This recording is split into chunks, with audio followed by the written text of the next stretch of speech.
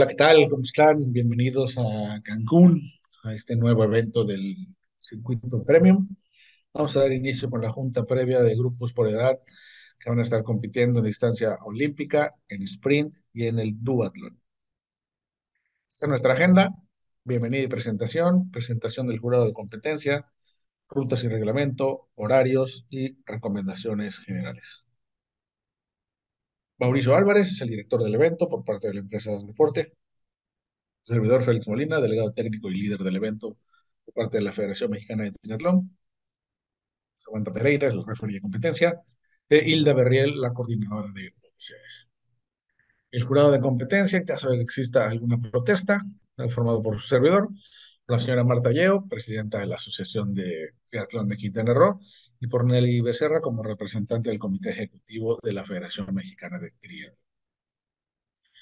La entrega de paquetes se estará realizando el día sábado 22 de abril en la tienda Innova Sport, que se encuentra en el Centro Comercial Marina Puerto Cancún, desde las 12 del día hasta las 8 de la noche. Muy importante que lleven con ustedes su identificación oficial, la carta de exoneración y su afiliación a la Federación Mexicana de Triatlón.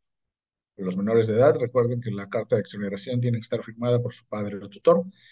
Y muy importante, una vez que ya tengan su paquete, verifiquen que eh, tenga su chip, su gorra de natación, sus números y su playera conmemorativa del evento. Una vez que tengan su paquete, se van a salir de la tienda y van a caminar hacia la derecha y ahí van a encontrar la zona de transición para que puedan ingresar su bicicleta de la una de la tarde hasta las 8 de la noche. Favor de respetar cinco lugares por rack. Va a estar marcado de acuerdo a la distancia en la que compiten y con su número de competidor. Recordamos que la zona de transición es exclusiva para atletas, oficiales técnicos y comité organizador. Estas son las distancias. Eh, en olímpico, natación 1500 metros, son dos vueltas. Ciclismo 40 kilómetros, cuatro vueltas. Carrera 8.2, eh, van a ser cuatro vueltas, más el kilómetro 400 que corre en el principio. Van a estar trotando al final 9.6 kilómetros. Para los sprint, una natación de 750 metros en una vuelta. Ciclismo, dos eh, vueltas para 20 kilómetros y la carrera dos vueltas para 4.1 más el 1.4 del inicio, da 5.5 kilómetros. En el duatlón, su carrera 1 es de dos vueltas para 4 kilómetros, el ciclismo dos vueltas para 20 kilómetros y la carrera 2 una vuelta para 2.05 kilómetros. Los horarios generales, un repaso de los horarios que les acabo de mencionar. El día sábado, entrega de paquetes de 12 del día a 8 de la noche en el Innova Sport del Centro Comercial Marino Puerto Cancún. Es para todas las categorías. Y de igual manera, el ingreso de transición de 1 a 8 de la noche para todas las categorías en el terreno que se encuentra a un costado de la Marina Puerto. Para el día domingo, ingreso a transición de 5.30 de la mañana a 6.15 de la mañana para todas las categorías excepto los Elite, que entran de 8 y media a 9 10. Retiro de bicicletas hasta que termine la competencia, hasta que terminen las categorías infantiles. Y la premiación se realizará a las 6.30 de la tarde en el Centro Comercial Marina Puerto Estos son los horarios de arranque de duatlón, olímpico y sprint. No se ven muy claros, pero en la guía del atleta que les mandaron, y si no la han recibido, pueden entrar a la página de As Deporte, en eventos, Astri, y ya la pueden descargar. El duatlón arranca a las 6.20 de la mañana, el duatlón femenil a las 6.21 y empezamos con la distancia olímpica varonil a partir de las 6.40 de la mañana.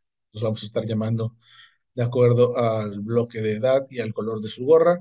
6.40, 6.42, 6.44. Las mujeres empiezan a las 6.52 y 6.53 los relevos.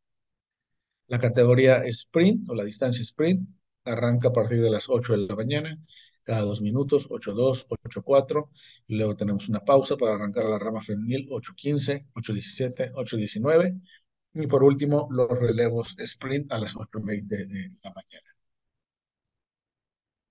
Reglamento de la zona de transición. Recuerden que el ingreso a zona de transición es exclusivo para atletas. Es necesario el día domingo traer el casco puesto y abrochado al ingreso habrá marcados monte y desmonte con una línea, por lo que no pueden subirse a la bicicleta dentro de la zona de transición.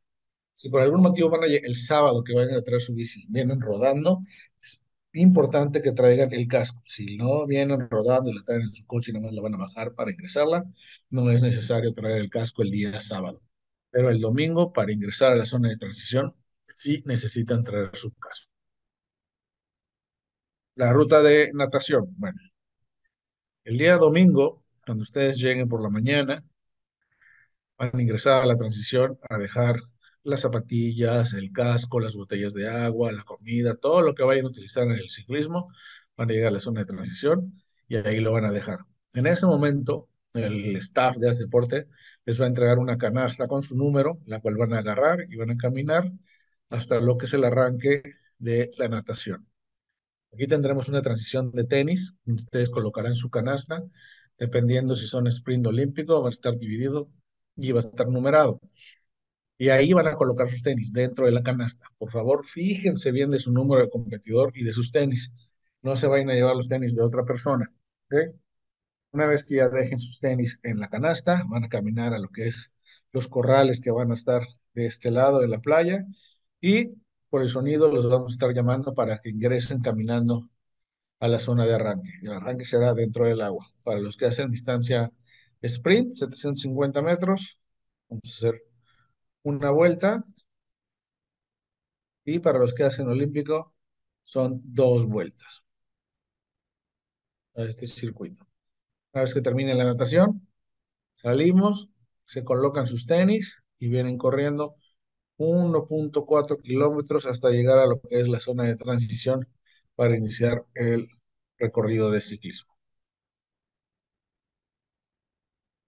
Esta línea azul que vemos es por donde van a estar viniendo corriendo para llegar a la zona de transición. Reglamento de natación, la temperatura actual del agua es de 25.8 grados, por lo que el neopreno no está permitido. Pueden nadar de cualquier estilo y tipo de brazada, deberán seguir el recorrido marcado. Es obligatorio el uso de la gorra del evento. En caso de requerir auxilio, levanten la mano por arriba de la cabeza para que el personal los pueda ayudar. Si son retirados en la etapa de natación, ya no podrán continuar con las demás etapas. Prohibido el uso de audífonos, paletas, aletas, pool y flotadores o cualquier artículo que les dé mayor flotabilidad o propulsión. Esta es la zona de transición, van a llegar por aquí abajito, por donde dice acceso a transición de esta natación. Estas dos flechitas. Van a ir directo a su rack, que va a estar marcado con la letra de su categoría, con su número, y va a estar dividido entre sprint olímpico. Toman su bicicleta y van a salir por este lado. Y va a estar la línea de monte y desmonte para que suban a la bici e inicien su. Cuando terminen sus dos o sus cuatro vueltas, van a desmontar, van a entrar, van a dejar su bici en el mismo lugar donde la tomaron, corren al final de los racks y por abajo va a ser la salida a correr. Los que hacen duatlón, los vamos a tener aquí en la línea de meta, aquí van a arrancar, a doblar a este lado e incorporarse al circuito de carrera, hacer una, y en la segunda vuelta van a entrar a la transición para tomar su bici, iniciar su recorrido, dos vueltas de ciclismo, dejan la bici en el mismo lugar donde la tomaron y salen a correr para hacer una vuelta y completar su evento. Es la ruta de ciclismo. Iniciamos en, dentro de Puerto Cancún hasta llegar a la avenida Bonampak, donde vamos a doblar a la izquierda hasta incorporarse el Boulevard Cuculcán nuevamente a la izquierda. Únicamente vamos a utilizar el carril que está pegado al lado del mar. Va a estar dividido con conos a la mitad. No invadan el otro carril, por favor. Van a llegar 5 kilómetros, vuelta en U. Regresamos. Entramos a Puerto Cancún. Damos vuelta en U justo por donde está la zona de monte y desmonte para hacer su segunda, su tercera o su cuarta vuelta, dependiendo de la distancia en la que compiten. Reglamento de ciclismo, recuerden ustedes son responsables del buen funcionamiento de su equipo. No pueden rodar con el torso descubierto, eh, realizar el recorrido de forma incorrecta o no completarlo. Si son cuatro vueltas y hacen tres, están descalificados. Si son de sprint y lugar de hacer dos vueltas hacen tres, pues ni modo, ese tiempo se les va acumulando. No mantenerse dentro del recorrido es motivo de descalificación. Deberán regular su distancia y velocidad al momento de estar rebasando a la gente y no invadir el otro carril. Recuerden que este es un evento con drafting permitido, pero solo se puede rodar con personas del mismo género, hombres con hombres y mujeres con mujeres. Si un oficial te detiene por draft, serás descalificado. Quiere decir esto que si una mujer va drafteando a un hombre y lo para el oficial técnico y le muestra la tarjeta, estás descalificado. Aquí no hay penalización de tiempos, descalificación. Rodar con audífonos o dispositivos prohibidos será penalizable con la detención de 15 segundos y tendrás que quitarte los audífonos.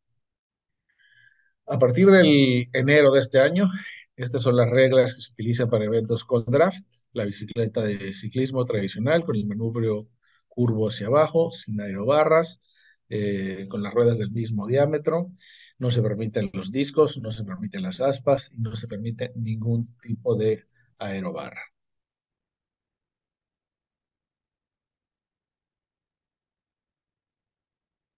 Esta es la ruta de carrera. Una vez que lleguen a transición, van a correr abajo hasta el fondo de la misma y van a hacer sprint, una, dos vueltas. Olímpico, cuatro vueltas. El duatlón, ya vimos, su arranque es aquí en la meta, viene, una vuelta, dos vueltas, entra transición, toma su bici, sus dos vueltas de bici, desmonta, entra y se va a una vuelta para luego llegar a la meta, cruzar la meta y de esta zona va a estar la zona de recuperación también. Reglamento de carrera, recuerden, pueden correr, trotar o caminar. No puede correr con el torso descubierto, deberán portar su traje de competencia de manera correcta, con los dos hombros tapados. Es responsabilidad de cada uno de ustedes conocer y mantenerse dentro de la ruta. Está prohibido correr con audífonos o algún otro dispositivo. Si algún oficial te detiene por este motivo, te sancionará con 15 segundos y deberás retirarte los audífonos. No está permitida ninguna clase de ayuda externa. Los atletas serán descalificados si los vemos recibiendo ayuda externa. Si te retiras de la competencia en cualquier lugar del recorrido, debes reportarlo a los oficiales. Con el propósito de mantener tu seguridad y la de los demás, no está permitida la entrada de ningún familiar a la zona de meta y recuperación. Recuerden que para este evento tenemos tiempos máximos. La natación, eh, la distancia olímpica son 50 minutos, en el sprint son 25 minutos. No cuenta el tiempo que se tarde de la salida de natación hasta la transición. Ese kilómetro 400 que van corriendo no cuenta. El tiempo es justo cuando salen del agua. Ese kilómetro 400 empieza a acumular para el ciclismo. Entonces tienen para acabar natación, esa transición y el ciclismo, dos horas con 50 o una hora con 25 en distancia sprint. Y para acabar toda la competencia, una hora 10 o cuatro horas en total para distancia olímpica, dos horas para la distancia sprint está larga la transición, se está compensando con la carrera donde se les está quitándole esa distancia. Abastecimientos, al salir de la etapa de natación tendremos un puesto de abastecimiento y cuatro en el recorrido de carrera. Si bien el abasto está garantizado para todos los participantes, te sugerimos ampliamente ser autosuficiente y llevar contigo lo que necesites para tu competencia, en específico para la etapa de ciclismo. Los dos últimos días está haciendo mucho calor en, en Cancún, entonces lleven agua suficiente para la bici. Marcaje, tenemos el automarcaje en brazos y piernas. Cuando vayan a ingresar su bicicleta, vamos a estar los oficiales también marcando, pero también tendremos plumones para que ustedes mismos se puedan marcar. Número de competidor en el brazo y pierna izquierda y su categoría en la pantorrilla derecha ya sea que te marques tú mismo con un marcador o si lo prefieres podrás comprar tu tatuaje en la carpa de la Federación Mexicana de Triatlón el día sábado en la entrega de paquetes. El uso del número de papel durante la carrera a pie es obligatorio. Servicio médico, en la ambulancia tenemos en la natación una, en el ciclismo dos, en la carrera una y en metro tenemos una, además de la zona del servicio médico y el área de recuperación. En caso de que requieran mayor asistencia, serían trasladados al Hospital Galenia y a Merimet. Resultados y premiación. TIR, tiempos y resultados. Los resultados finales se publicarán ese mismo día del evento en la página de asdeporte.com. Con la app de Asdeporte igual se van a estar actualizando los resultados durante el día. No pegaremos resultados preliminares, entonces por favor, ahí en su teléfono pueden ir estarlo checando. La premiación a las 6.30 de la tarde en el Centro Comercial Marina Puerto Cancún. Mucho éxito en su competencia. El estacionamiento el día de la competencia podrán utilizar el estacionamiento de la plaza, pero el acceso a este estacionamiento se cerrará a las 6 de la mañana para que lo tengan en consideración.